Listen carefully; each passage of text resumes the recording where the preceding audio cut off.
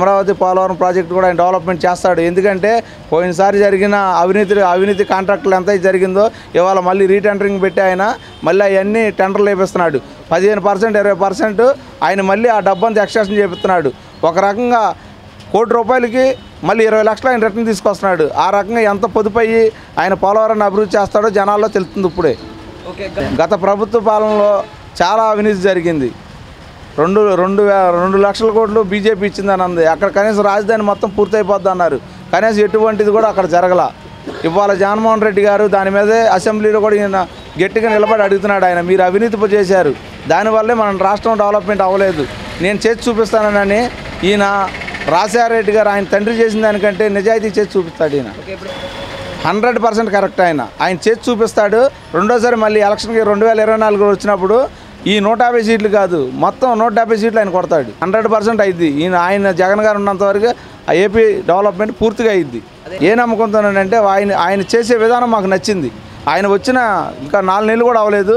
ఆయన పెట్టిన పథకాలు పేదలకు ప్రతి ఒక్కరికి ఏం చేయాలనేది ఆయన ఆలోచించి జనాల్లో తిరిగి చేయగలుగుతున్నాడు కాబట్టి ఆయన చేస్తాడనే నమ్మకం మాకు ఉంది.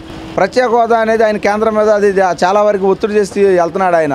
ప్రత్యేక హోదా కావాలనేది ఆయన చిరకాల కోరిక. దాని మీద ఆయన చాలా ఫైట్ చేస్తున్నాడు. మరి అది కేంద్రం చేతుల్లో ఉంది. ఆయన కృషి ఆయన వంతు ఆయన వంతు ప్రయత్నం ఆయన చేస్తున్నాడు. ఆ ప్రత్యేక హోదాకి మనం ఎంపీలు కూడా పార్లమెంట్లోకి వెళ్ళినప్పుడల్లా ప్రత్యేక హోదా గురించి ప్రతి ఒక్కళ్ళు అడుగుతున్నారు దాని గురించి. ఆ సమస్యను ప్రధాన దృష్టికి కూడా తీసుకెళ్ళారు.